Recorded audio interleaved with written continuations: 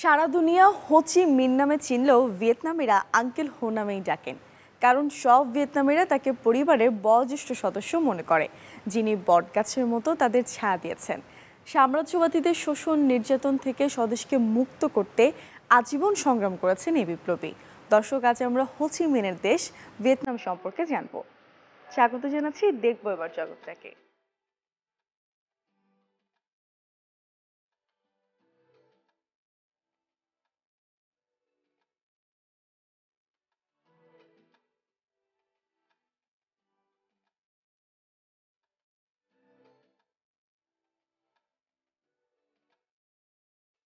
Vietnam, দক্ষিণ পূর্ব এশিয়ার একটি দেশ। এটি ইন্দ্রচীনা উপদ্বীপের পূর্ব উপকূলে অবস্থিত। দেশটির উত্তরে চীন, পশ্চিমে লাওস ও কম্বোডিয়া এবং দক্ষিণ ও পূর্বে দক্ষিণ চীন সাগর অবস্থিত। বাংলাদেশ থেকে প্রায় তিন হাজার পাঁচশো কিলোমিটার দূরে দেশ ভিয়েতনাম। আয়তন তিন লক্ষ একত্রিশ হাজার তিনশো চুয়াল্লিশ বর্গ কিলোমিটার। এটি বাংলাদেশের তুলনায় প্রায় দুই গুণ বড়। ভিয়েত এবং নাম শব্দের সমন্বয়ে ভিয়েতনাম শব্দের উৎপত্তি। নাম শব্দের অর্থ দক্ষিণ। দ্বিতীয় শতকে দেশটির নাম ছিল নাম ভিয়েত। পরবর্তীকালে নাম ভিয়েত থেকেই ভিয়েতনাম হয়েছে। দেশটির অফিসিয়াল নাম সোশ্যালিস্ট রিপাবলিক অফ ভিয়েতনাম। দুই হাজার তেইশ সালের হিসেবে জনসংখ্যা দশ কোটির বেশি। রাজধানী হ্যানয়, তবে ভিয়েতনামের বড় শহর হোচিমিন সিটি। ভিয়েতনামের কোনো রাষ্ট্রীয় ধর্ম নেই। তবে ঐতিহ্যগতভাবে ভিয়েতনামের ধর্ম অনেক বৈচিত্র্যময়। একটা সময় তারা বিশ্বাস করত তাদের দেবতারা জীবন্ত আত্মা নিয়ে পৃথিবীতে বসবাস করে। ভিয়েতনামের সবচেয়ে প্রাচীন ধর্ম হল মহায়ান বৌদ্ধ কনফুসিয়াসবাদ এবং তাওবাদ এগুলোকে ত্রিধর্ম বা ট্যাম গিও নামেও পরিচিত। দেশটির মোট জনসংখ্যার প্রায় ছিয়াশি শতাংশ মানুষ এই তিনটি ধর্ম বিশ্বাস করে। এছাড়াও এখানে রোমান ক্যাথলিক খ্রিস্টান কাউদাই ওয়াহু ধর্মের লোকও আছে। এছাড়া স্বল্প সংখ্যক প্রোটেস্ট্যান্ট, খ্রিস্ট ধর্ম, ইসলাম, হিন্দু ধর্ম এবং থেরবাদ বৌদ্ধ ধর্ম প্রচলিত আছে। দেশের রাষ্ট্রীয় ভাষা ভিয়েতনামীয়, তবে অনেকে মনখমের ভাষায় কথা বলে। এছাড়া বিভিন্ন জাতিগোষ্ঠীর প্রায় একশো ত্রিশটি ভাষা প্রচলিত আছে ভিয়েতনামে। ভিয়েতনামের ইতিহাস অনেক পুরনো। ধারণা করা হয় বিশ হাজার বছর আগে এই অঞ্চলে প্রথম মানুষ বসতি করে তোলে। প্রথম বসতি স্থাপনকারী আধুনিক মানুষরা হবিনিয়ান্স নামে পরিচিত ছিল। ইতিহাস থেকে জানা যায়, ভিয়েতনামের প্রথম শাসক ছিলেন পৌরাণিক চীনা শাসকের বংশধর রাজা দেমিন। তিনি রেড ডামান্সের শাসক কিং জুন তৈরি করেছিলেন। দেমিন সমুদ্রের ড্রাগন লর্ডের কন্যাকে বিয়ে করেছিলেন। সত্যিকারের ভিয়েতনামি প্রথম রাজা ছিলেন তাদের পুত্র ল্যাকলং কোয়ান। শত বছর ধরে চলা যুদ্ধের মধ্য দিয়ে ভিয়েতনামে জাতির জন্ম হয়। উনিশশো ছেচল্লিশ সালের নভেম্বরে ভিয়েত মিনের হাইফং অঞ্চলে আক্রমণ করে ফ্রান্স। ফ্রান্সের ঔপনিবেশিক শক্তির বিরুদ্ধে কঠোর প্রতিরোধ করে তোলে দেশটি। উনিশশো পঞ্চাশ সালে স্বাধীন ভিয়েতনামকে স্বীকৃতি দেয় চীন ও সোভিয়েত ইউনিয়ন। এর তিন বছর পর উনিশশো চুয়ান্ন সালে সাত সপ্তাহব্যাপী যুদ্ধের পর ফ্রান্সের একটি গুরুত্বপূর্ণ বিচ্ছিন্ন সামরিক ঘাঁটি দিয়েন বিয়েনও পুতে আক্রমণ করে ভিয়েতমিন এই যুদ্ধের ফলে ভিয়েতনাম থেকে সেনা প্রত্যাহার করে ফ্রান্স। জেনেভা কনফারেন্সে আলোচনার মাধ্যমে উত্তর ও দক্ষিণ ভিয়েতনামে বিভক্ত হয়ে যায় দেশটি। পরবর্তীতে ২০ বছরে উত্তর ভিয়েতনাম দুটি অংশকে একত্রিত করার জন্য আন্দোলন শুরু হয়। তবে শুরুতে এই আন্দোলন সফল হয়নি। তবে আন্দোলন এখানেই থেমে থাকেনি। উনিশশো সালে দক্ষিণ ভিয়েতনামে দখল করা মার্কিন সেনারা একেবারে বাধ্য হয়ে চলে যায়। এবং দক্ষিণ ভিয়েতনাম সাম্যবাদীদের দখলে চলে আসে। উনিশশো ছিয়াত্তর সালে দুই ভিয়েতনাম একত্রিত হয়ে সাম্যবাদী রাষ্ট্র হিসেবে আত্মপ্রকাশ ঘটে। রাজধানী করা হয় হ্যানয়কে। ভিয়েতনামের সংস্কৃতি বিভিন্ন জাতি, বর্ণ, সংস্কৃতি দ্বারা প্রভাবিত। বহু বছরের চৈনিক শাসনের ফলে ভিয়েতনামের সংস্কৃতিতে ইন্দো চীনের প্রভাব তুলনামূলক বেশি। তবে ফরাসি ঔপনিবেশিক সময় ভিয়েতনামে পাশ্চাত্য সংস্কৃতির আবির্ভাব হয়। বর্তমানে সাংস্কৃতিক ও রাজনীতিতে তাদের প্রভাব অনেক বেশি। ভিয়েতনাম যুদ্ধের পর দেশটির সংস্কৃতি রক্ষণশীল থেকে উদারপন্থী সংস্কৃতিতে রূপান্তরিত হয়েছে। দর্শক, চলুন ভিয়েতনামের সংস্কৃতি নিয়ে আরও কিছু তথ্য জেনে আসি। একটা সময় সাম্রাজ্যবাদী হিংস্রতার কবলে পড়ে নাস্তা নাবুদ হয়ে গিয়েছিল ভিয়েতনাম। তবে তা সত্ত্বেও ঘুরে দাঁড়িয়ে আজ তারা স্বয়ং সম্পূর্ণ উনিশশো উনষাট থেকে উনিশশো পঁচাত্তর সাল পর্যন্ত দক্ষিণ পূর্ব এশিয়ায় দীর্ঘমেয়াদী সামরিক সংঘাতের নাম ভিয়েতনাম যুদ্ধ। বলা হয়ে থাকে, দ্বিতীয় বিশ্বযুদ্ধে যে পরিমাণ বোমা পৃথিবী জুড়ে ব্যবহৃত হয়েছিল, তার চার গুণ বেশি বোমা এই দেশে ফেলা হয়েছিল।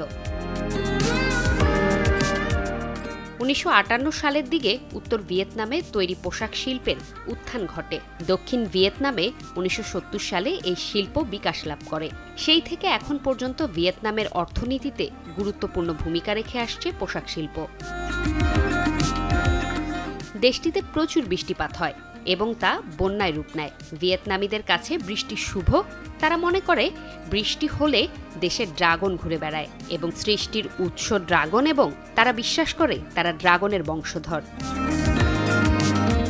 পোশাক ভিয়েতনামীয় সংস্কৃতির একটি গুরুত্বপূর্ণ অংশ।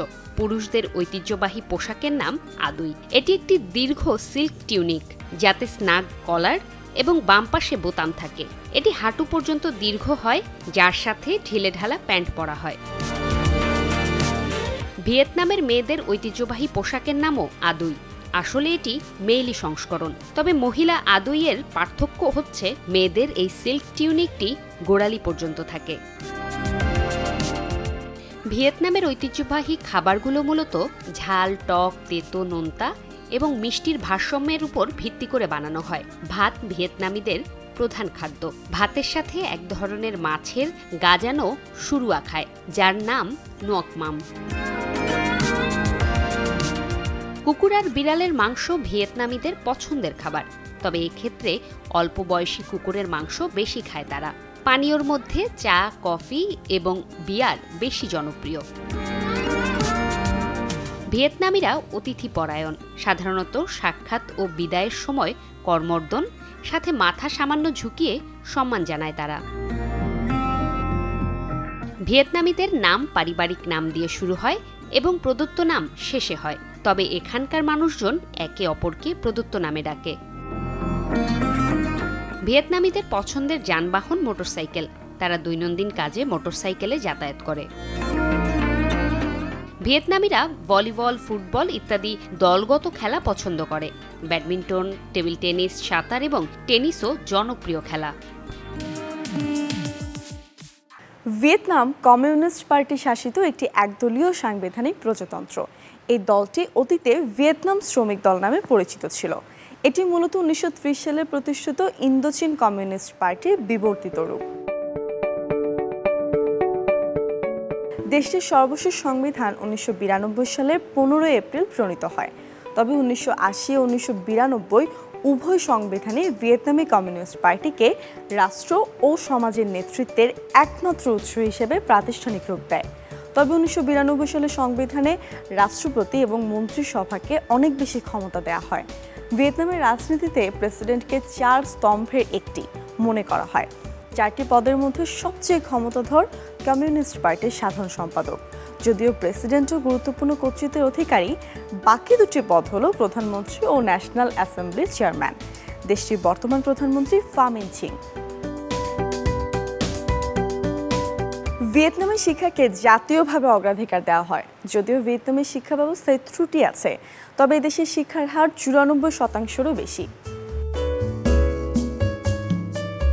শিক্ষাকে সর্বজনীন প্রবেশাধিকার প্রদান করতে নানা পদক্ষেপ নিয়েছে দেশটির সরকার এবং সরকারের অনুমতি ছাড়া সেখানে কোনো শিক্ষা প্রতিষ্ঠান করার সুযোগ নেই। ভিয়েতনামে প্রাথমিক শিক্ষায় কোনো পরীক্ষা বা গ্রেডিং পদ্ধতি নেই।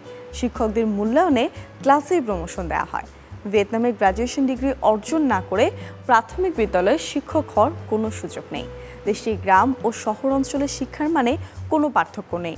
সমানভাবে আধুনিক সুবিধা সহ দক্ষ শিক্ষক আছে। বিজ্ঞান ও প্রযুক্তিতে অনেক এগিয়ে ভিয়েতনাম। আন্তর্জাতিক শিক্ষার্থীদের জন্য ভিয়েতনামের বিশ্ববিদ্যালয়গুলিতে পড়াশোনা করা এখন বেশ সহজ। আন্তর্জাতিক শিক্ষার্থীদের জন্য ইংরেজিতে পড়ানো হয়। এছাড়া যথেষ্ট গবেষণার সুযোগ আছে। ভিসা প্রক্রিয়াও খুবই সহজ। চাইলেই ভিসা দেয় দেশটি। সাংস্কৃতিক বৈচিত্র্যের দেশ ভিয়েতনাম। পাহাড়ের মুগ্ধতা, সমুদ্রের বিশালতা, পুরনো শহরের মায়া আর নতুন শহরের ঝলমলে আলোয় ঘেরা চমৎকার দেশ এটি। এইসবই জানে বিভিন্ন দেশ থেকে অনেক পর্যটক আসে ভ্রমণে। দেশটির রাজধানী হ্যানয়কে বলা হয় ঐতিহ্য সম্বন্ধশালী শহর। মিউজিয়াম, লেক, টেম্পল, প্যাগোডা, ঐতিহাসিক স্থাপত্য, কি নেই এই শহরে? দর্শক চলুন ভিয়েতনামের পর্যটন নিয়ে আরও কিছু খুঁটিনাটি জেনে আসি। ভিয়েতনাম অসম্ভব সুন্দর সাজানো গোছানো দেশ, যার পরতে পরতে ছড়িয়ে আছে ভীষণ মুগ্ধতা। এখানকার নাগরিকরা বিদেশি পর্যটকদের স্বাগত জানাতে সবসময়ই প্রস্তুত থাকে। দক্ষিণ পূর্ব এশিয়ার এক অলৌকিক সৌন্দর্যের দ্বীপ হল এর হালং বে, পাহাড় আর সমুদ্রের অপরূপ এক সন্ধি ঘটেছে এই দ্বীপে। স্বচ্ছ ফিরোজা রঙের পানি এবং অসংখ্য ছোট ছোট দ্বীপের জন্য বিখ্যাত। ভিয়েতনামি শব্দ হালং অর্থ ভূমিতে নেমে আসা ড্রাগন। এখানে প্রায় দুই হাজার পাথরের দ্বীপ রয়েছে। তুয়ানচাও এবং কাটবা হালং উপসাগরের সবচেয়ে বড় দ্বীপ। এসব দ্বীপের মূল উপাদান হল চুনাপাথর হালং উপসাগরের এসব পাহাড়ি দ্বীপে সবচেয়ে বড় গুহার নাম সারপ্রাইজ কেভ, যার অর্থই হলো আশ্চর্য গুহা। মেসকেভ হালং বের অন্যতম দর্শনীয় স্থান। এই গুহার ভিতরে লাইট ইফেক্টে আপনি গোলক ধাঁধায় পড়তে বাধ্য। এছাড়া থিয়েন চান সান কেভ ট্রিন নু কেভ ভিয়েতনামের অন্যতম সুন্দর গুহা।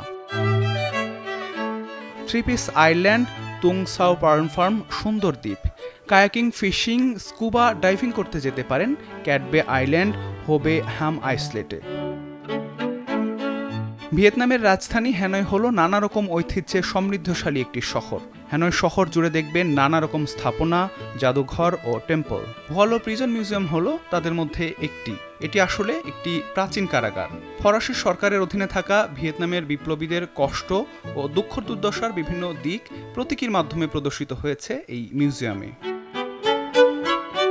উইমেন্স মিউজিয়াম ভিয়েতনামের আরেকটি জনপ্রিয় পর্যটন কেন্দ্র। চমৎকার আধুনিক এই জাদুঘরে ভিয়েতনামিজ নারীদের ভূমিকা ও সংস্কৃতির বিভিন্ন দিক তুলে ধরা হয়েছে। ভিয়েতনামের সেরা পণ্ডিতদের স্থান দেখতে হলে আপনাকে যেতে হবে টেম্পল অফ লিটারেচারে।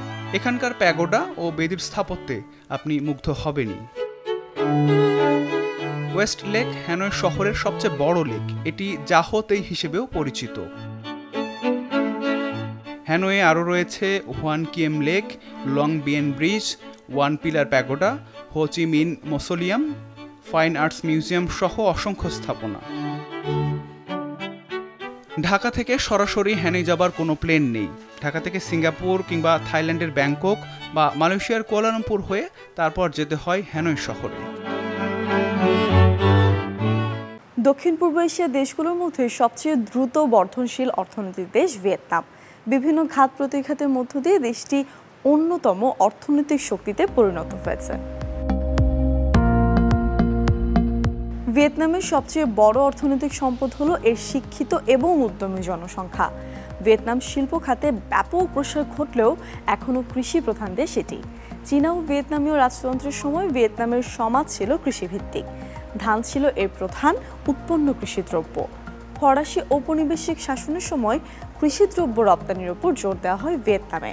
ফলে ধানের পাশাপাশি কফি, চা, রাবার এবং অন্যান্য ক্রান্তীয় শস্য রপ্তানি শুরু করে।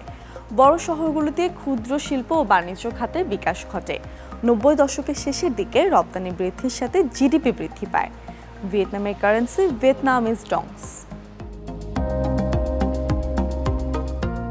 দর্শক, কখনো কি কফির সাথে ডিম মিশিয়ে খেয়েছেন?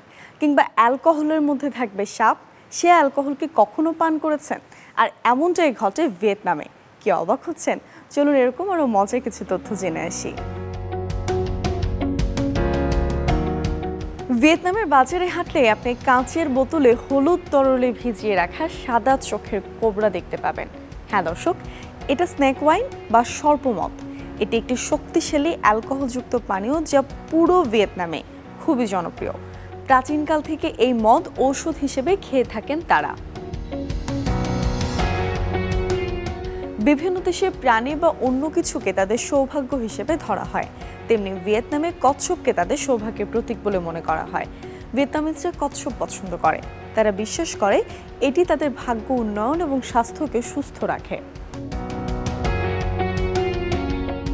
ডিম দিয়ে কফি। কি, শুনতে অদ্ভুত লাগছে? কিন্তু ভিয়েতনামিজরা এটা খুব মজা করে খায়। এটাকে এক কফি বা চা ফেট্রং বলে। বেশ ভালো প্রস্তুতি নিয়েই ডিমের কুসুম দিয়ে তৈরি করা হয় সুস্বাদু কফি। ডিম ব্যবহারের কারণে এই কফির টেক্সচার অন্যান্য যে কোনো কফির চাইতে অনেক বেশি ঘন এবং ক্রিমি হয়। সমকামিতা কোনো রোগ নয় বলে ঘোষণা দিয়েছে ভিয়েতনাম সরকার। সমকামিতার জন্য কনভার্সন থেরাপিকেও বেআইনি বলেছে দেশটির স্বাস্থ্য মন্ত্রণালয়। সমকামী বিবাহকে বৈধতা দিতে বেশ কিছুদিন ধরেই দেশটিতে চলছিল নানা আন্দোলন, আলোচনা এবং সমালোচনা। আজব ঘটনার কথা কতই তো শোনা যায়। তবে জানেন কি? দু চোখের পাতা এক না করেও কাটিয়ে দিয়েছেন ছেচল্লিশ বছর। এনগক নামের এক ব্যক্তি ছেচল্লিশ বছর ধরে না ঘুমিয়ে কাটিয়েছেন। ভিয়েতনামের এই বৃদ্ধ দাবি করেছেন, তিনি নাকি উনিশশো তিয়াত্তর সালের পর আর কখনো ঘুমাননি। এমনটা দাবি করেছে সে দেশের সংবাদ মাধ্যমগুলো। এনগক জানান বিশ বছর বয়স থেকে সে ইনসোমিয়ায় ভুগছেন। ভিয়েতনামে আছে বিশ্বের দীর্ঘতম কাঁচের সেতু, নাম বাকলং ব্রিজ। একটি পাহাড় থেকে আরেকটি পাহাড়ের ঘন জঙ্গল ও গভীর খাঁড়ির উপর দিয়ে একশো পঞ্চাশ মিটার দৈর্ঘ্যের সেতুটি তৈরি করা হয়েছে। এতে পাটাতন হিসেবে ব্যবহার করা হচ্ছে ঝকঝকে স্বচ্ছ কাজ ফলে এর উপর দিয়ে হাঁটতে গেলে মনে হবে পায়ের নিচে কিচ্ছু নেই। পাহাড়ের গা ঘেঁষে এমনভাবে পেঁচিয়ে এটি তৈরি করা হয়েছে, তা দেখতে অনেকটা ড্রাগনের মতো। দেখব এবার জগৎ থেকে আজকের পর্ব এ পর্যন্ত। আগামী পর্বে নতুন কোনো দেশের গল্প নিয়ে আমি আবারও হাজির হব। তবে আপনি যদি চান আপনার পছন্দের কোনো দেশ সম্পর্কে জানতে, তাহলে সেই দেশের নাম আমাদের ফেসবুক কিংবা ইউটিউবে গিয়ে কমেন্ট করে জানাতে পারেন।